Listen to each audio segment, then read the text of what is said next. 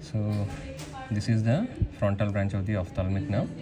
You can see the frontal dividing into supra orbital and supra trochlear and here you can see this is the levator palpebrae superioris levator palpebrae superioris and this will be the superior rectus.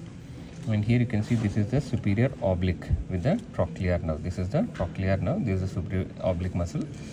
And here you can see this is the optic nerve and this is the ophthalmic artery so on this side on this particular side you can observe the nasociliary nerve. Nasociliary nerve. So and once you lift the optic nerve you can observe here this is the medial rectus muscle. Medial rectus muscle you can see the inferior division of the oculomotor nerve supplying the medial rectus muscle. And here you can see this is the lateral rectus muscle. This is the lateral rectus muscle. So here you can observe between the two heads of the lateral rectus you can see this is the abducent nerve which supplies the lateral rectus muscle.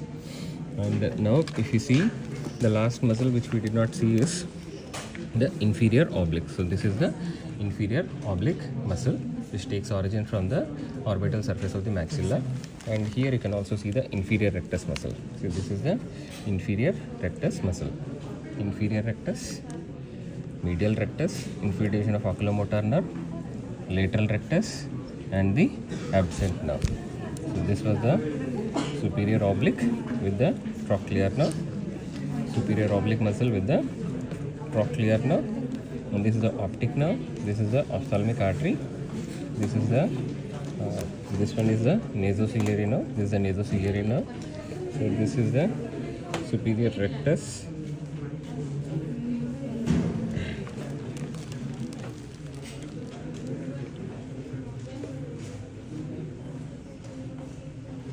yeah. This is the superior rectus. This is the superior rectus. This is the levator palpebrae superior. This is the frontal nerve from the ophthalmic nerve.